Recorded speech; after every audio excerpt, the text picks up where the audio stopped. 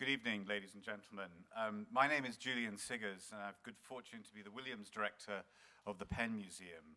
So, as you all know, today we're 125, and thank you so much for coming to celebrate with us. The Douglas G. Lovell Annual Reports from the Field lecture series is the result of a very generous anonymous gift in honor of the, the late Douglas Lovell, who served on the museum's board for many years. His widow, Alida, is with us tonight, and we're very grateful to have her here. This evening's speakers are all current Kolb Junior Fellows, supported by funding from the Lewis J. Kolb Foundation, which was established in 1981 through a bequest by Catherine Kolb Paniker in honor of her father, Colonel Lewis J. Kolb.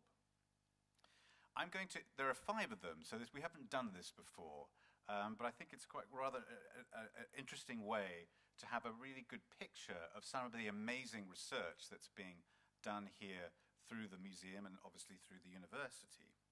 So our first speaker tonight, and they've only got an hour, and they know that. Um, our first speaker tonight is Daira Nocera, a third-year student in art and archaeology in the Mediterranean World Graduate Group. She earned her bachelor's degree at the University of Pisa and completed a graduate program in classical archaeology at the University of Genoa. Her research interests include Roman imperial architecture, topography, frontier boundary issues, the techniques and methodologies of ex excavation, and computer applications and material culture, with a special focus on the amphora trade and economy. She will speak tonight on excavations at the villa of Emperor Maxentius in Rome. Our second speaker is Jordan Pickett, a six-year student in art and archaeology of the Mediterranean World Graduate Group. He received his bachelor's degree in the history of art, religious studies, and medieval studies from Indiana University. His dissertation is on Rome hydraulic infrastructure in the Eastern Mediterranean, and it is a comparative study exploring the diverse afterlives of Roman baths and hydraulic architecture across the Mediterranean in the early Middle Ages from the perspectives of Byzantium and the Caliphate. His topic this evening is temples, churches, and cisterns, late antique water management at Jerash, Jordan. Another third year student of art and archaeology in the Mediterranean World Program is Stephen Renette. And Stephen holds a master's degree from Ghent University and completed a further two years master's research at the program at Leiden University. He has excavated in Belgium, Tunisia, Corsica, Syria, and Azerbaijan, and plans a dig this year at a new site in Iraqi Kurdistan, which is actually breaking some new and very interesting territory. This evening, he will speak on Kani-Chaie and the Bazian Valley Archaeological Project, new field work in an unexplored region of Iraqi Kurdistan. Our penultimate speaker is Tiffany Cain, and she's a first-year graduate student in the anthropology department. She holds a bachelor's and master's degree from Stanford University, where her work centered on Western Australia's canning stock route and the complexities of reconciling conflicting notions of value, significance, and identity in the region. She will speak tonight on modes of reconciliation, art and archaeology in Australia's Western Desert. And our final speaker is Joanne Baron, a seventh year doctoral student in the anthropology department from which she has received her bachelor's degree. Since 2008, she has been actively working at La Corona, a classical Maya period site in northwest Guatemala. Her work focuses on the small series of temples that belong to the site's patron gods, which unusually have hieroglyphics identifying the patron gods associated with each temple and her dissertation discusses the ways these gods were worshipped and their importance in the creation of community, identity, and autonomy. Her lecture this evening is entitled Patron Gods of the Maya. So I am very pleased to give the podiums up to Daira Nocera, our first speaker.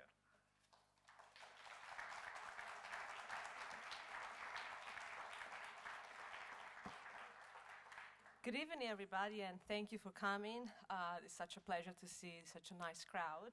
Uh, so I'm going to talk about an excavation project that I've been part of for four years. The project is directed by Professor Diane Conlin uh, from the University of Boulder, Colorado, and Dr. Gianni Ponti in Rome. And I'd like to um, take this occasion to thank the Salvatori Research uh, Grant, the Penn Museum, and the Amway Department who allowed me to participate in this project in the summer of 2011 and 2010. Um, the site is located in the southern uh, part of Rome and along the Appian Way. It's one of the most, uh, one of the best preserved archaeological sites in Rome, as you can see from this aerial picture, which uh, shows uh, the amazing preservation of the circus. Over here, the uh, so-called tomb of Romulus over here.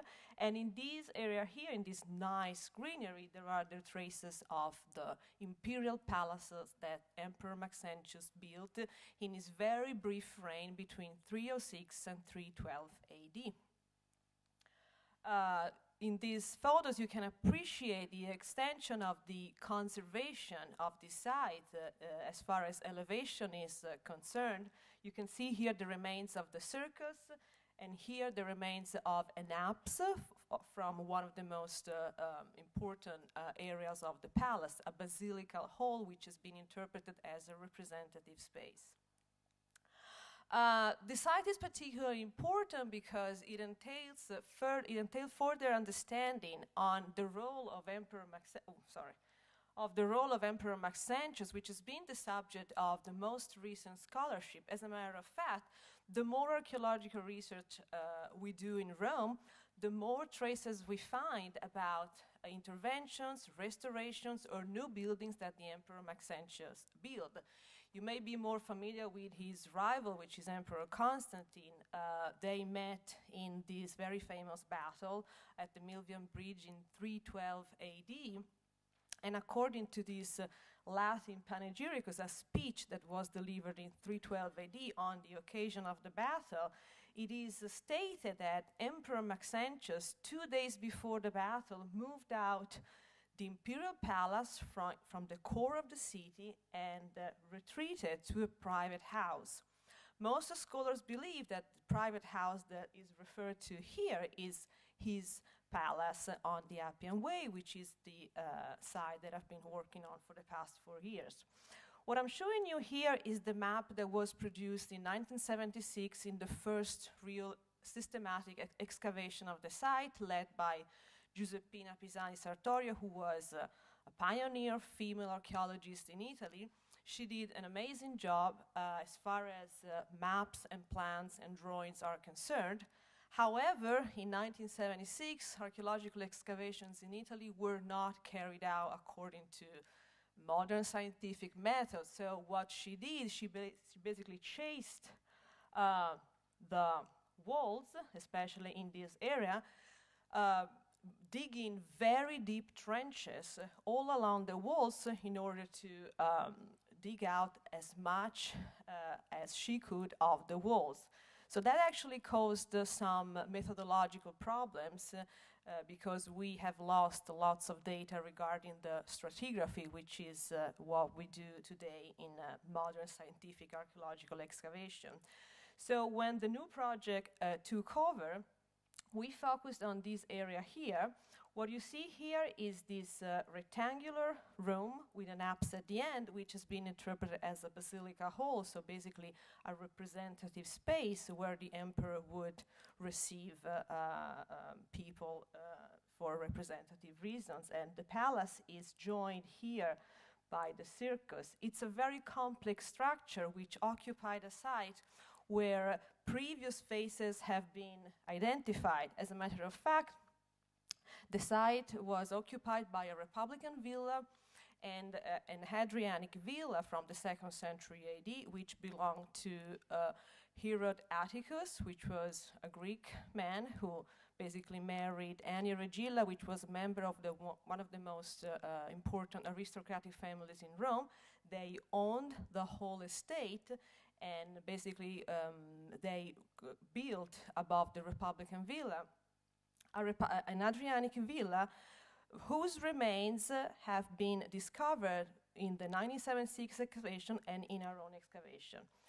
We focused on this area here. This is 2008 2009, the beginning of season, and uh, it's been difficult for us to find uh, the most appropriate site uh, to continue the excavation because the site is really big and some areas of the site uh, belong to private estates. So these actually caused a problem and we had to decide which area we wanted to focus on.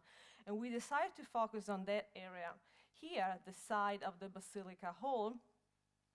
And what we found, uh, apart from a, a, huge amount of painted frescoes and mortar, which allowed us to reconstruct the decorative pattern of the Hadrianic villa, the most important data that we were able to gather regards the relation between the Hadrianic villa and the imperial palace.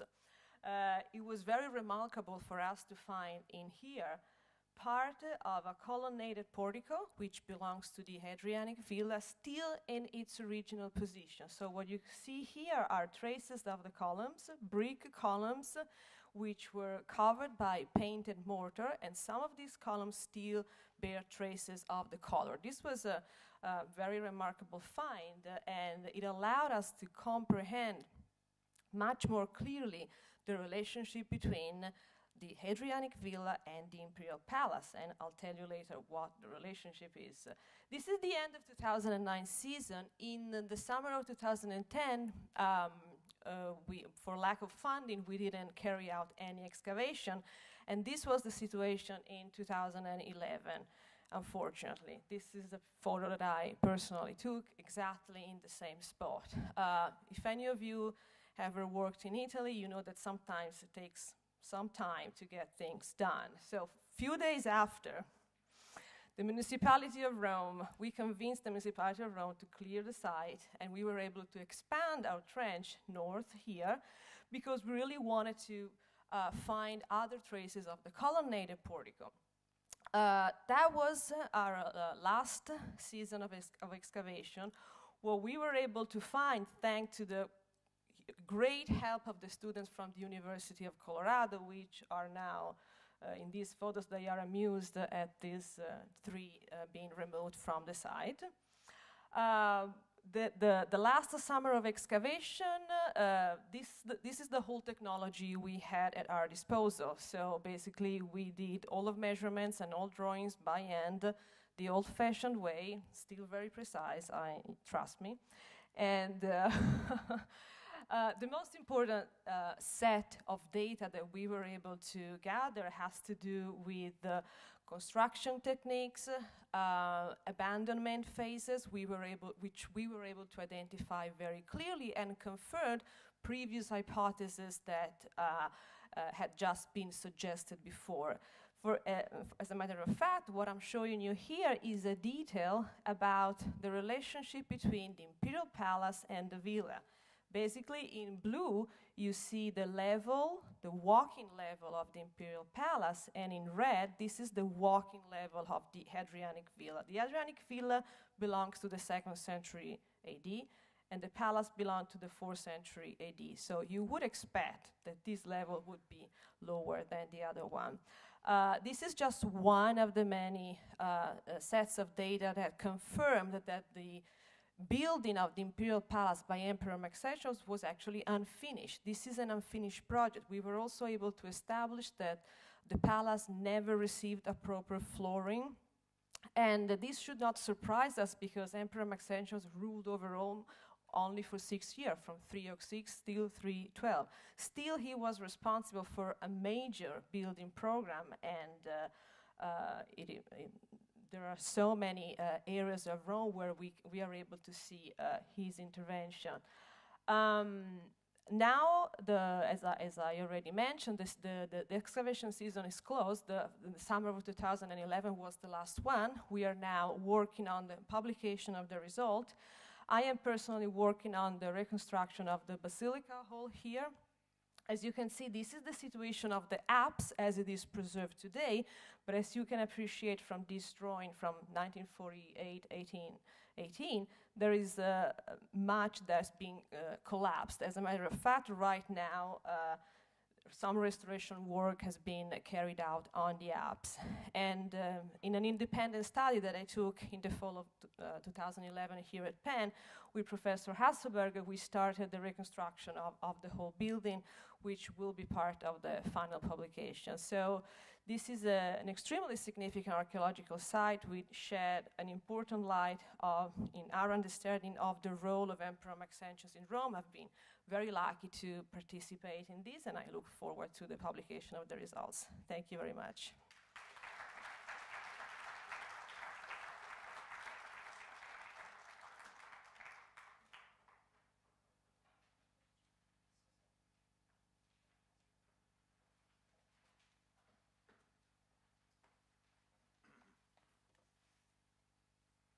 Hi.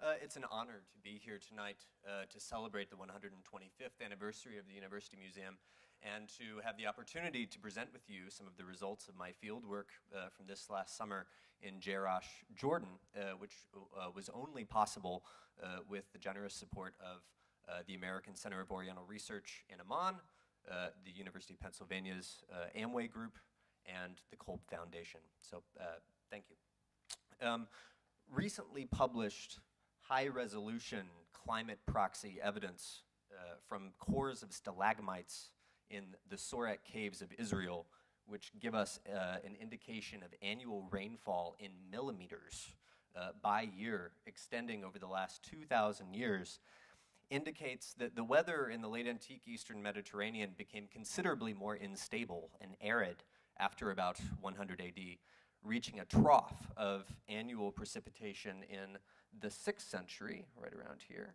uh, which you can see, uh, which ameliorated somewhat and improved, stabilized somewhat only after the early 10th century. This put new stress on cities in late antiquity, just as urban and hinterland populations surged, cultural and religious horizons shifted, and the Hellenistic Roman model of autonomous city government was transformed. At Jerash, uh, an ancient city in northern Jordan, I wanted to explore and document the ways in which the architecture and the built environment of the city responded to changing climates and cultural attitudes about water, and especially water scarcity, taking a long view from the first to the ninth centuries AD. So, how did the physical infrastructure of water supply and distribution and consumption and drainage change in Jerash during this period?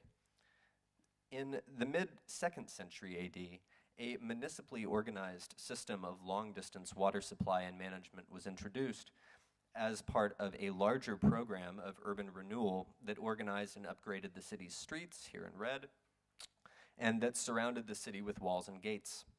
This new water system interacted with rain runoff primarily for the purposes of drainage. Drinking water was led from the Berkatane Spring four kilometers to the north of the city into pipes that fed the new West Bath, which you can see here, and a line of fountains that punctuated the length of the Cardo.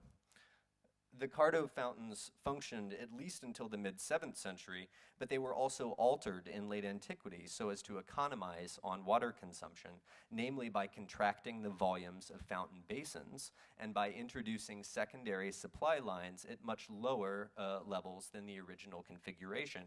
So, for example, here in Fountain 7, which is located on the west side of the Cardo, just uh, a few meters south of a 5th century cathedral complex, we can see that the dimensions of the fountain were changed. So originally this was the back surface of the fountain, and then there was a second basin that was introduced that brought the back wall forwards by about 50 centimeters. And this had the effect of making less water available for consumers as it contracted the volume of the basin by nearly half, uh, from about three cubic meters to something less than two. Uh, an alternative water supply was also introduced. Originally, water was discharged into the fountain through sculpted lion's heads, which you can see right here at the top of the fountain apparatus. But later, a rectangular changle, uh, channel for a 20 centimeter drainage pipe, or uh, supply pipe rather, uh, was introduced, uh, cut into the base of the third sidewalk step about one and a half meters below this original level. So from here down to here, you can see right behind the meter stick. Um, This is related either to the introduction of a totally new supply line for the city in the 5th century or to a lack of pressure in the original supply line, which would have required either raising the elevation of the supply or dropping the level, uh, the elevation of the outflows, as precisely here, and also in several other fountains. Uh, besides the Birketane water main coming from the north, work this summer also documented for the first time another water supply line that entered the city from the west, and which fed large vaulted reservoirs under the Temple of Artemis platform, at least in its original incarnation. As planned in the second century, Drainage on the temple platform was achieved by channeling water from drains or graded pavement surfaces into sewers at the east and south portal, where excavations in the 1930s revealed a large masonry drain of well cut ashlars. After the 5th century, all this changed, and you are forgiven for being overwhelmed by the next slide. uh, so, water conduits here are in orange and uh, places of water storage are in purple. So that gives you some idea. Um, and this all changed as the Roman obsession with drainage became a Byzantine and an Umayyad obsession with water storage. The Artemis Temple and its porticos began to be despoiled. Its columns and capitals, and especially its cobblestone pavers, were carried off to be reused in the construction of new churches. Removing the pavers had a dramatic effect. It exposed the soft, marly bedrock under the pavers, and in doing so, facilitated the creation of new rock cut channels, pipe housings, and reservoirs that were cut into the soft rock below the temple. New pipes and channels led across the temple platform before crossing under and over the temple stylobate at the edges of the platform. So you can see these pipes here that cross uh, just over uh, the threshold of the temple platform and which run across the temple uh, platform in front of the temple itself. These new arrangements for the provision of water benefited the temple's neighbors near the cathedral and the Church of St. Theodore, and they supplied cisterns, a public fountain, a bath, shops, and small scale industry as well as an elaborate water powered stone saw, which is the oldest machine in the world to have been reconstructed. On the temple platform itself, a network of cut and cover channels reveal the introduction of a new spring fed pipeline from the city's north. Water trickled down a cut and cover channel in front of the temple podium steps, uh, which you can see here just in front of the steps and coming from the north uh, to the steps, which are right here. Um, let's, uh, so it, uh, yes, trickled in front of the temple podium steps into a Roman ossuary, uh, which is right here, that was reused as a dividiculum or a distribution box, where flows were divided into uh, three uh, separate pipelines. Uh, so a large rock cut reservoir at the southwest, which you can see here, a series of pipes that fed a bath and a sawmill near, near the temple's southeast corner, flowing out in this direction and three, an, an additional series of pipes that exited the platform at the temple's south portal, heading toward the neighborhood that sprang up uh, here around the Church of St. Theodore after the 5th century. From the southeast corner of the temple platform, water was directed into two cut and cover channels that fed a large reservoir, about 90,000 liters, on the intermediate terrace. Now, an overflow channel in this reservoir, which you can see here, in turn supplied the overshot water mill that powered this uh, remarkable stone saw. This means that the reservoir must have been quite full in order for the saw to function, and therefore that the mill was not the reservoir's primary recipient. Another set of pipes crossed south over the temple stylobate and supplied the fountain uh, that was in the cathedral atrium uh, where Epiphanius in the late fourth century said that he had witnessed a festival for the miracle of Cana uh, when Christ turned water into wine. Uh, as well as these pipes also supplied the Placcus baths, which are uh, right in this vicinity. Uh, in its last phase, the reservoir supplying these baths, which you can see here, was also reconfigured so as to function only with overflow, and its volume was nearly halved.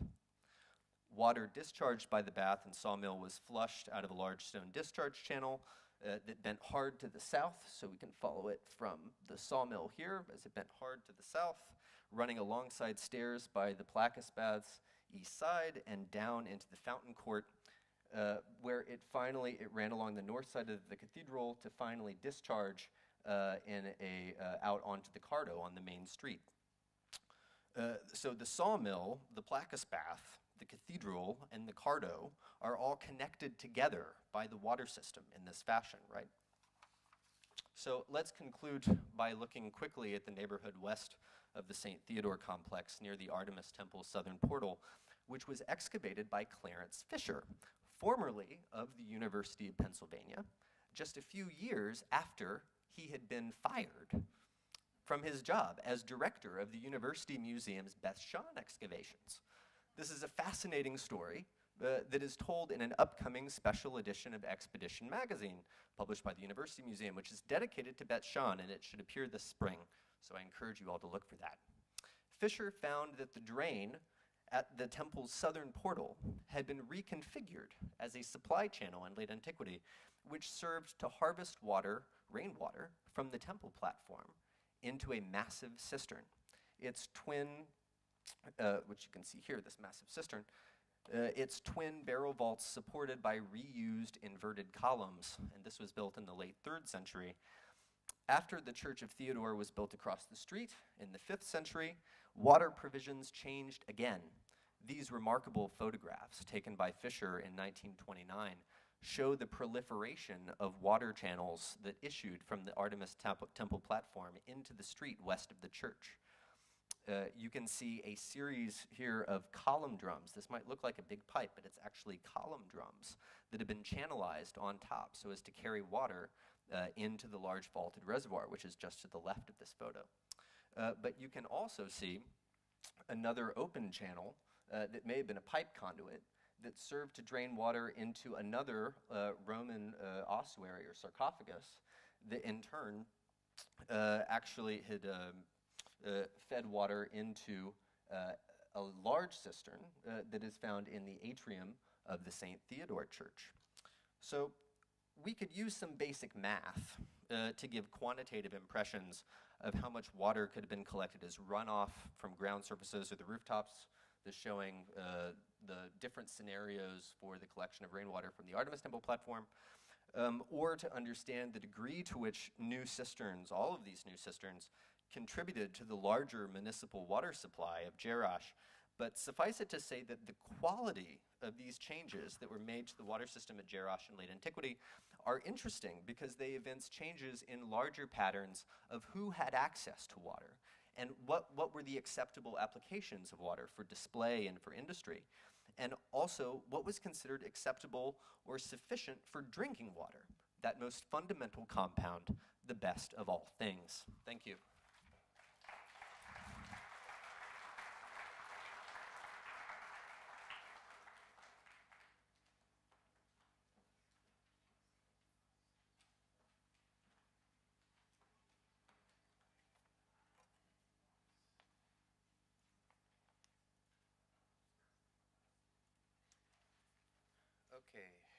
Um, I will change the focus a little bit to a project that's still in development, so I don't have as many awesome results as Daira and Jordan have just shown us. Um, I would already like to express my gratitude to my program Art and Archaeology of the Mediterranean World, to the Kolb Society, and to the University Museum for already providing me with generous support in developing this project.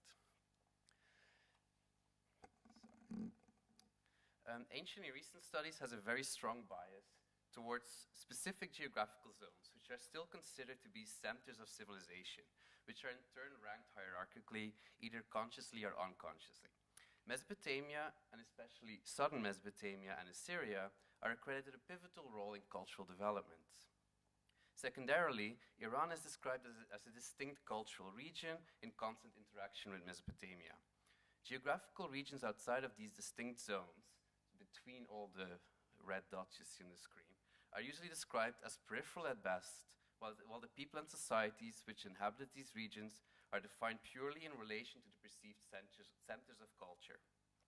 Especially the zone of the Zagros Mountains and the Piedmont region between the Tigris River and the Zagros Mountains um, are considered to be between the cultures. serving as a corridor route which routes of trade and communication, through which routes of trade and communication pass, but which are otherwise merely sparsely inhabited by people who live in awe of Mesopotamian civilization or attempt to escape the suffocating demands imposed by mighty empires. This borderland between Mesopotamia and Iran is often treated as a no man's land, a buffer zone where war wars were fought, military borders were set up, even to this day, caravans passed through, and raiding bands tried to make a living. In part, this perception is the result of a serious lack of archaeological research in these regions. During, during our first encounters in, at university or in general books with Near Eastern archaeology, we are shown maps showing the distribution of sites which cluster in well understood and studied geographical zones. The stretch of terra incognita between Mesopotamia and Iran, as you see on this map, usually contains only very few unfamiliar sites at best, immediately invoking and ingraining the idea that this region was largely uninhabited and at the very least unimportant. For the past six years, starting with an in-depth study of one small area within this borderland, the Hamrin region, which is this little blue spot, um, I have become increasingly interested in this region. By gathering the limited information available from small spots scattered throughout the entire region, hints of a different picture are surfacing. surfacing. What emerges is, emerges is a unique and varied landscape full of micro-regional variation and vital societies on their own historical track, highly adapted to this landscape and competing with their neighbors and engaging with interregional networks on their own terms. The past few years have witnessed a remarkable stability and prosperity in the autonomous region of Iraqi Kurdistan which encompasses a significant part of the zone between Mesopotamia and Iran. As a result, after many years of absence, the first archaeological team started to return to Iraq and seize the possibilities offered by the stability in Iraqi Kurdistan. During the past year, we even witnessed a true explosion of archaeological fieldwork, resulting in almost full coverage of Iraqi Kurdistan by several large survey projects. Considering my research interests in this region, I decided to reach out in an attempt to contribute to this new wave of fieldwork. Following a short exchange of emails with the director in Sulaymaniyah province, I, um, I visited Slimani province in March together with my colleague Andre Tome from the University of Coimbra in Portugal, where we met with the local director of antiquities, Dr. Kamal Rashid Rahim, and the director of the Slimani Museum, Dr. Hashim Hama Abdullah and to explore options for setting up a fieldwork in this region. Thanks to their incredibly generous hospitality and assistance, we were able to visit several sites in the region and to explore the impressive landscape. After some hesitation, and probably while being annoyed that we weren't settling on excavating on one of the sites that we have seen, had seen all day long, long driving around in this landscape, um, our, the, the representative who accompanied us, his name was Saber, um, he he was a little bit annoyed that we were still pushing him trying to see more sites. And he sighed and he finally decided to take us to a small area behind the hills that we had been seeing southwest of us all day long, to a site called Kani-Chaie.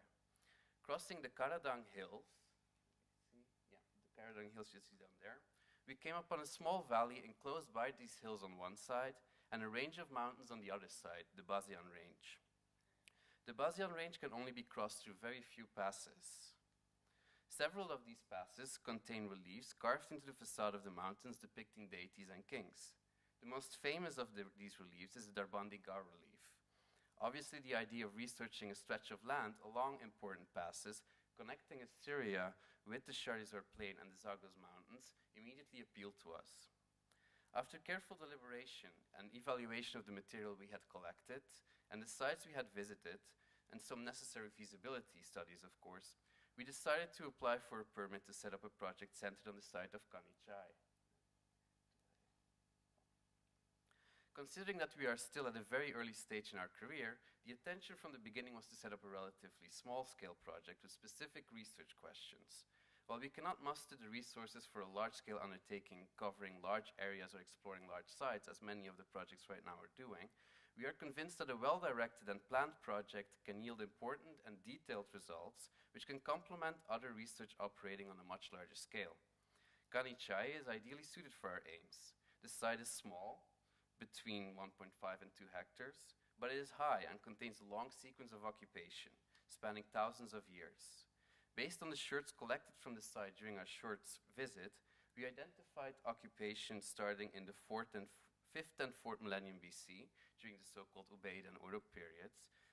Um, the majority of the material collected can, can, however, most likely be dated to the entire range of the Bronze Age, while there also appears to have been occupation during the Hellenistic and Parthian period, which is very poorly understood in the region, and going into the early Islamic era. As a result of the lack of archaeological fieldwork in the region, the local material culture is very poorly understood, making it difficult to date and evaluate ceramic material rec recovered from sites in the region. Establishing a typology and sequence of changes in material culture will be crucial to the success of the coming years of archaeological research in Iraqi Kurdistan. This can only be achieved if stratigraphic sequences spanning long periods of time are exposed at several sites, which can be used for relative dating, and if sufficient C14 samples are collected in association with stratigraphic sequences to establish absolute dates. Given the small size of Kani-Chaie, allowing significant results in relatively short period of time, and the long history of occupation at the site, we will be able to retrieve a stratigraphic sequence which can be used for evaluating the material culture at sites in the region. Even though the site is relatively small, Kani-Chaie stands out in the area. And you can see it, it's, it's right, yeah, over here. Um, we'll zoom in more. So as you can see, um, it is located in the center of a small plain, part of the Bazian Basin, where several springs and small streams converge. It is also located close to the conjunction, conjunction of the roads coming from two important passes crossing the formidable Bazian mountain ranges. Considering its central location, it seems reasonable to assume that Kani-Chaie was a small local center controlling or administering the plain between the Bazian ranges and the Karadang hills, on one of the main routes of communication connecting northern Mesopotamia and the Zagros mountains. While excavations at the site will give us information about the role and nature of this site in this region, we also intend to conduct intensive survey in the area between the two main passes, the Bazian Pass to the north and the Basra Pass to the south. In combination with the stratigraphic sequence we can establish at Kani-Chaie, we intend to reconstruct the history of settlement in the region. The core area of our project is a relatively small region, clearly demarcated by geographical features on one important route of communication. A relatively small-scale project can map out this region and evaluate the local developments throughout history, as well as its wider significance within the interregional framework. We have set up this project as a cooperation. Here you can see a map again, and you can see the, the Bazian Range and the Karadang Hills. And so this area is where we want to focus our survey on. And then maybe include as well more extensive survey along the entire Bazian Range for all the passes and to document the reliefs as well. So we have set up this project as a cooperation between myself, Andre Tome, and Ricardo Cabral uh, from the University of um, Coimbra, with, with the support of our respective institutions, the University of Pennsylvania and the Museum of Archaeology and Anthropology at, um, here in the, in, at the University of Pennsylvania. In addition, we are um, collaborating with Lashad Marv, currently finishing his PhD at Leiden University, and Kozad Ahmed, who, was a is a recent PhD from Leiden University and is currently setting up the archaeological department at University of Sulaymaniyah, both of whom have been involved with the archaeology of Iraqi Kurdistan for many years. If all continues to go well, our first full season of fieldwork will take place in August, September next year, and then hopefully I can provide more actual results from this really fascinating sites.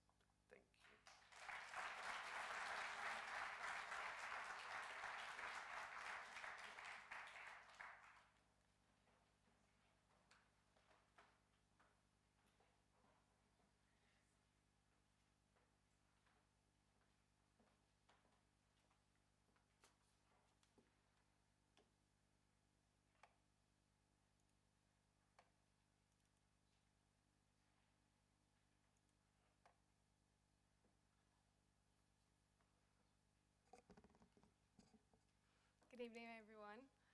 Uh, it's really exciting for me to be here as a first year uh, at the University of Pennsylvania, the Department of Anthropology.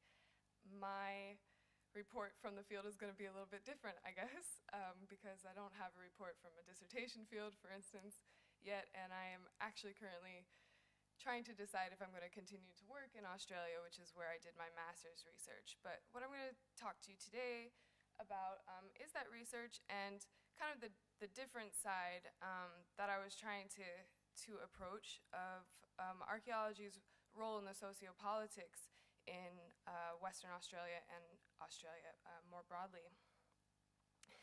So uh, the goal of this project, um, when I was thinking about it, was to address the ways in which archaeology, as a distinct mode of heritage practice, uh, has been implicated in the broader national discourses surrounding reconciliation in Australia between Indigenous Australians and the descendants of settler Australians.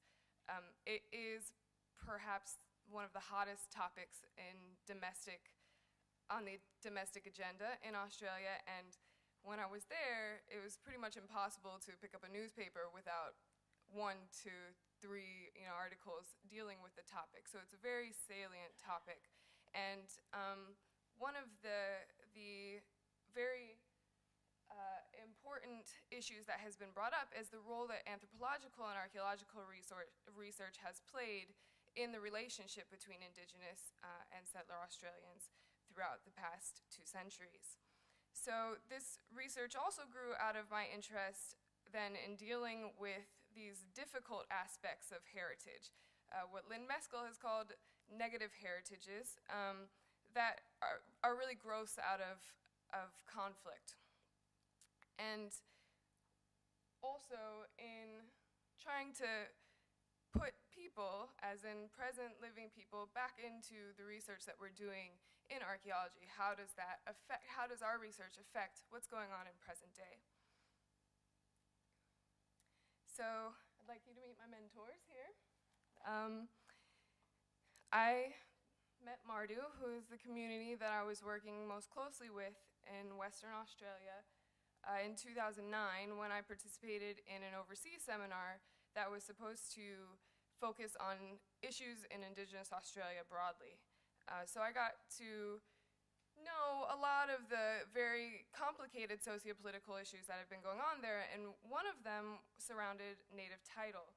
And so native title is an issue of uh, reappropriating lands and rights to land use uh, by Indigenous communities from the Australian state and, uh, and Commonwealth governments. And what had happened was, oh, excuse me.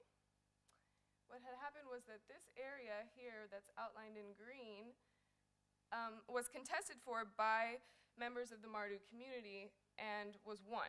So that green area there is the um, Mardu determined native title land tract. And this was a very, very big victory, uh, and it was the first uh, native title land tract of its size to be re, re um, appropriated by an indigenous community. So Mardu are the people whose traditional estates are located in this entire region um, of Western Australia, which is known as the Western De Desert and Pilbara regions. And um, they now, as I mentioned, have this 130,000 kilometer square tract of land, um, in within which are the three primary communities that I was working in, Punmu, Parnngurr, and Kunawarritji. And uh, these were extremely important for my fieldwork, and I spent about 14 weeks total there um, working with members of the community. So in those communities, there are about 2,500 Mardu, um, but they also reside throughout other places uh, in Western Australia, the Northern Territories, and Southern Australia, and places uh, like Perth, uh, Broome, Fitzroy Crossing, Wiluna, these very big hubs in the area. And as a name that actually grew out of colonial encounters, Mardu is actually an appropriated name that just translates loosely into one of us. So it was, um, excuse me. So as a name that grew out of this, the relationships that we see in the Western Desert right now are very influenced by colonial encounters. Um, but what it also means is that there are several very complex and diverse genealogical links running throughout this entire region and that affects what we can see archaeologically there as well. So Mardu have been identified as one of the last Aboriginal peoples to undergo sustained relationships with settler Australians, um, many of them deciding to remain quote unquote out bush until the late 1960s and early 1970s when prolonged droughts, cattle droving enterprises, uh, rapidly declining populations, kin obligations, and government initiated missile testing, among other uh, issues, drove the last remaining nomadic families out of the desert. And um, Mardu first came into contact with Europeans somewhere around the late 1890s and had been gradually moving out of the desert into mission systems or onto pastoral um, lands up until that point. But that was kind of the last flushing out of the desert by the Australian government. And eventually in the 1980s, there was a movement to reclaim those lands and to move back out and to um, take up traditional practices again, etc. Um, so what I decided to focus my work on was the Canning Stock route, which is this lovely green line here that cuts through the determined uh, Mardu native title. And the Canning Stock route was interesting to me because it was a cattle droving uh, route that went from the north at Halls Creek to the south at Wiluna. And it was supposed to get cattle and meat and leathers and all these things to the south where they were mining gold but there was a tick infestation, a really bad one, and so they weren't allowed to put them on the ships and take them around uh, the coast as they normally would do. So they had to think of some smart plan, and they decided that they were going to drove the cattle through the desert. Nobody knew anything about the desert, and obviously the desert is very hot. Um, so they had been very unexplored by Europeans at that time, and there was a lot of uh, contention about whether or not this plan was going to work well, this man named Alfred Canning, who is probably most famous for his surveying of the rabbit proof fence. I don't know if any of you have ever heard of this or seen this, right? So he surveys this 1,800 kilometer track through the desert um, and cuts through the traditional estates of Mardu. So the, the, the track itself actually um, traces about 50 sacred sites and water sites for Mardu.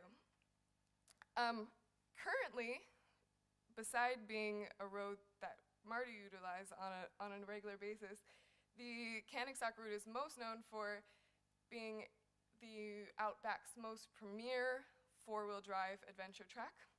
So it gets a number of tourists every year.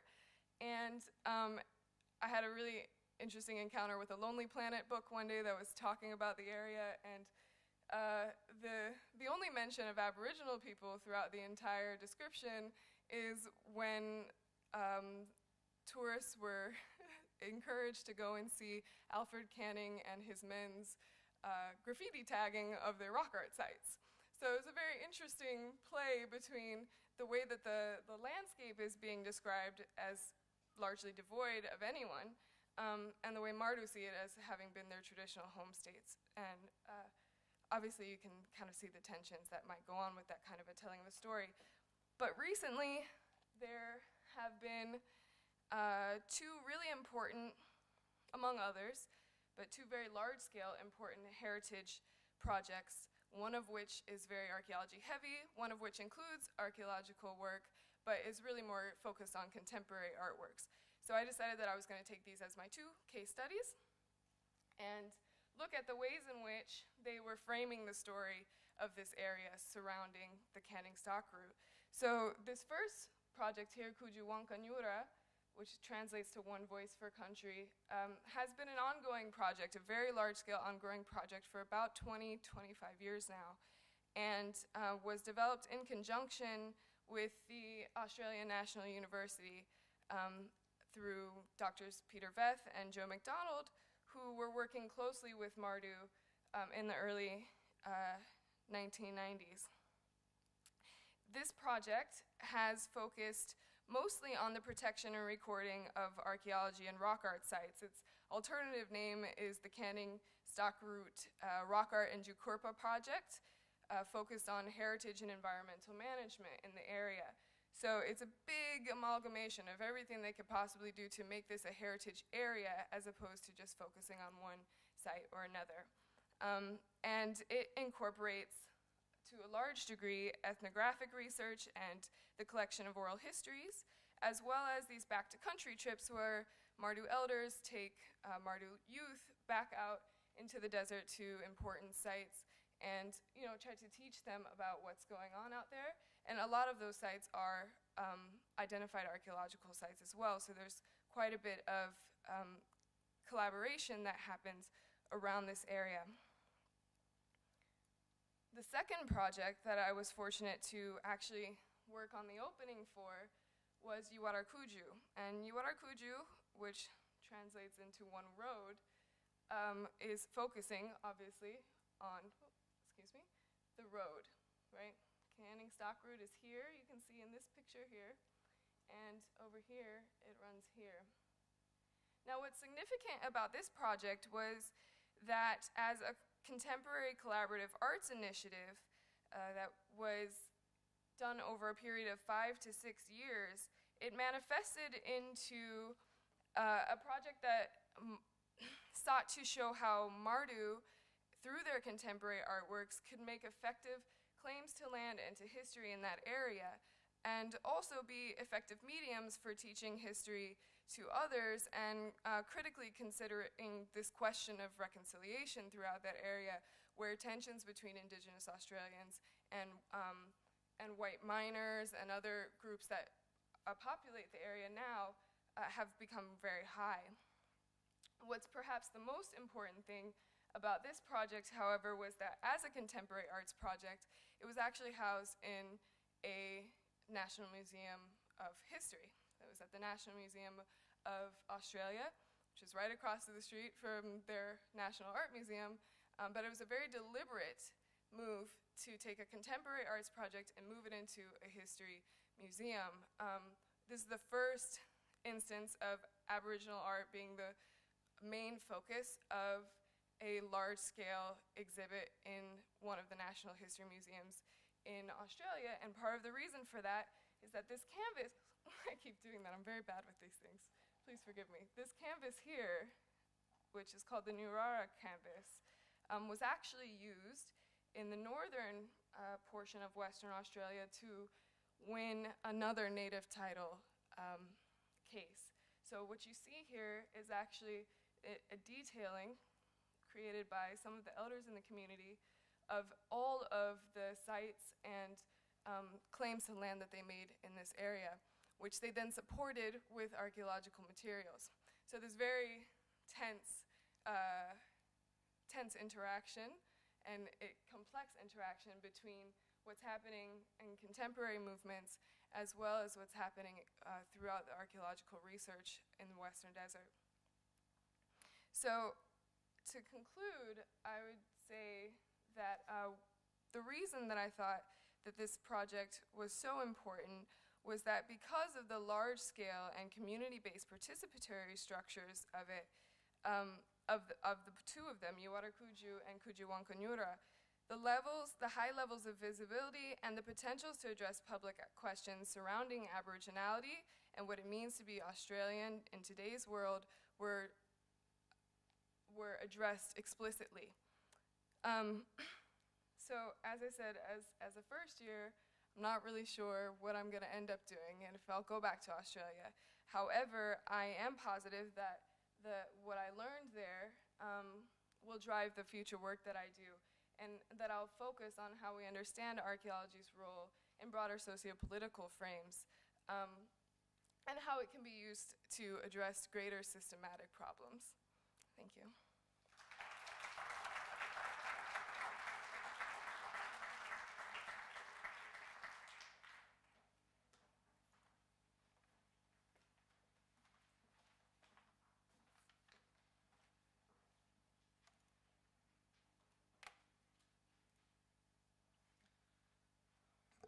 Evening. Uh, my name is Joanne Baron, and I'm a seventh year graduate student in the Department of Anthropology here at Penn. Um, uh, this is a presentation of my dissertation work, um, for which I have to thank the, uh, the Penn Museum, the Department of Anthropology, uh, the Kolb Foundation, and the Wenner-Gren Foundation.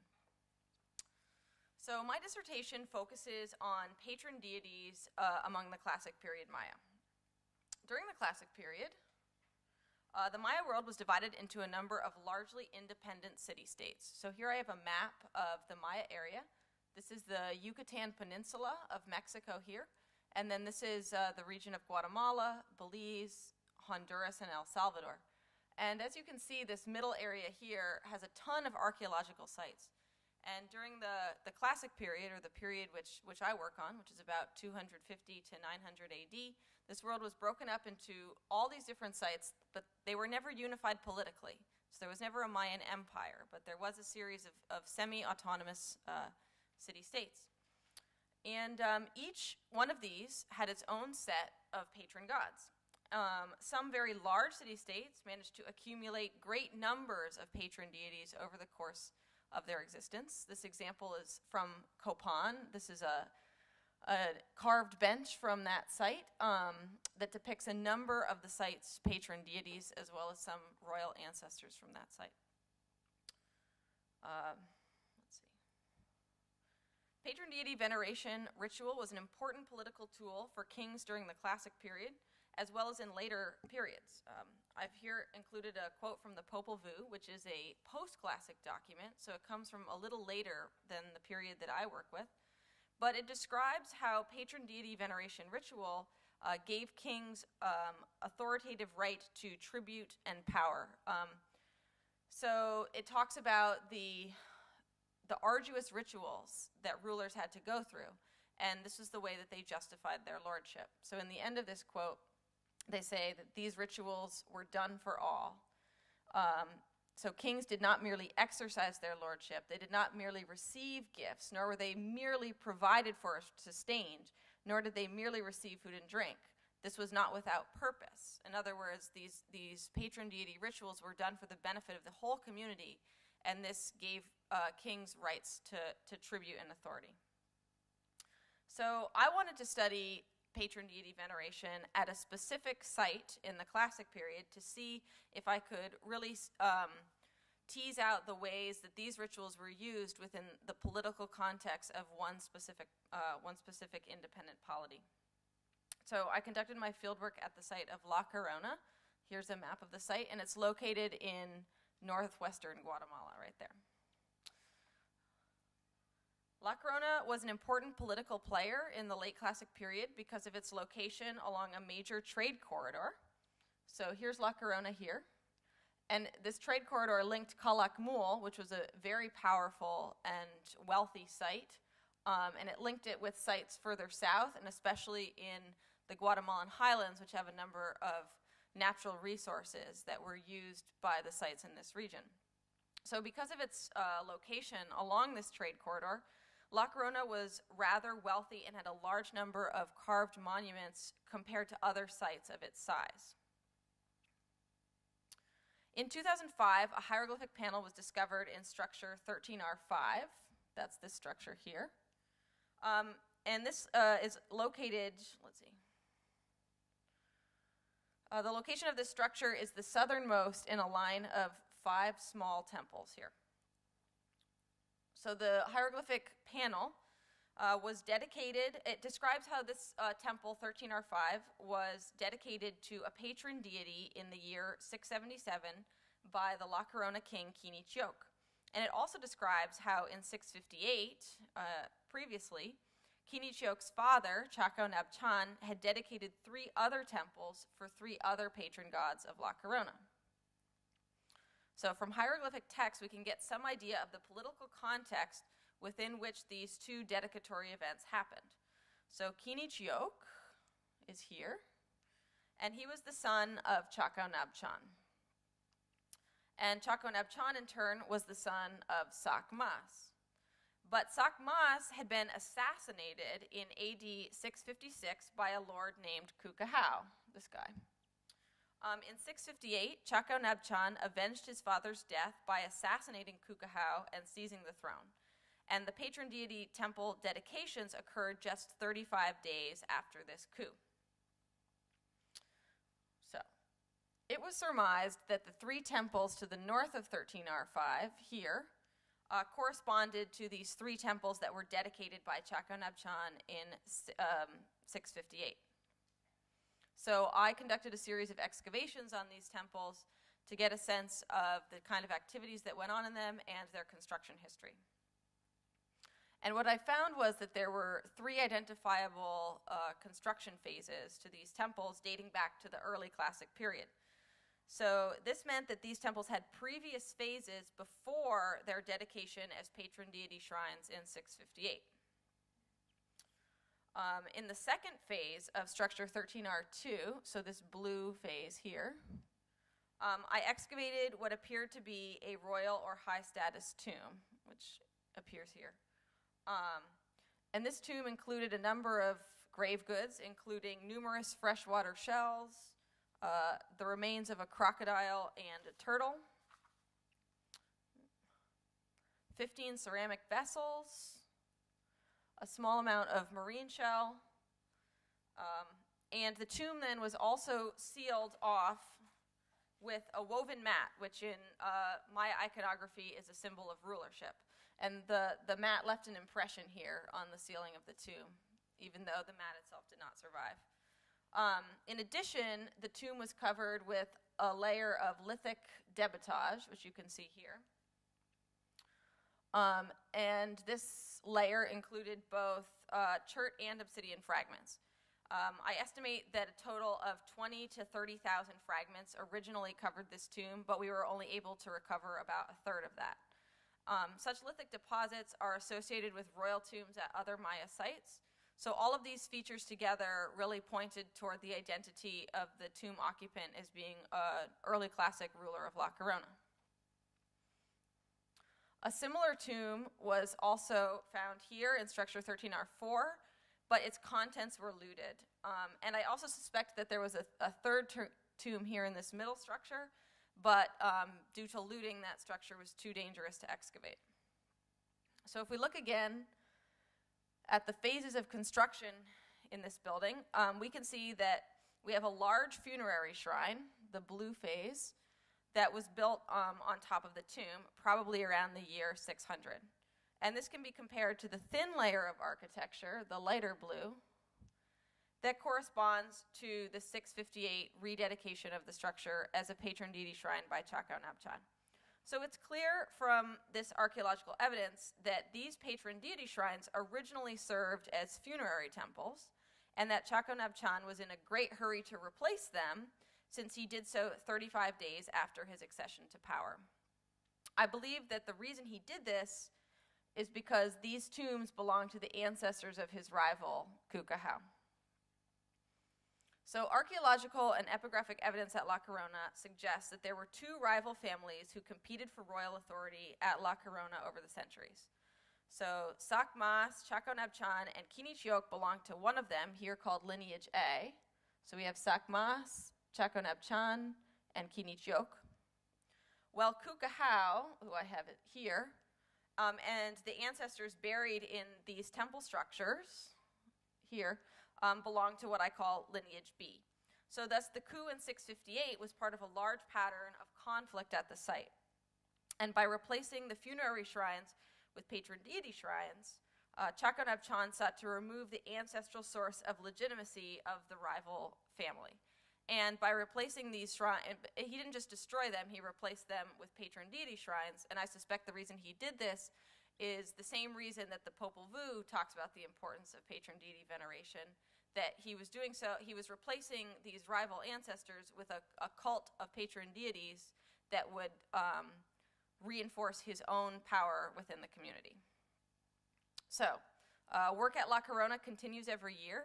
Uh, in 2012, 22 new inscribed blocks were recovered near the, uh, these temples, including this block. Um, the block depicts Sakmas dressed in uh, ball game gear, ready to play with a king of Calakmul. So new finds allow us to refine our understanding of this classic period city every year. Thank you.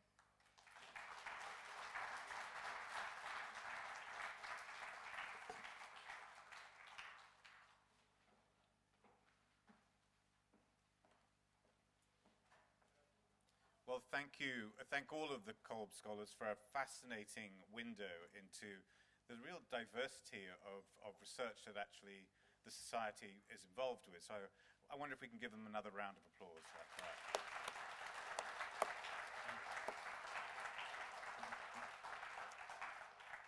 Now, we've, we've gone a little bit over time, but they've really kept the, the schedule fairly well. And I know a number of you have to go off to your flashlight tours. So I wonder if I can ask some of the Kolb scholars to stay behind at the front here just to answer a few questions for anybody who'd like to ask them one. But thank you all again, and thank you so much for your support for the museum.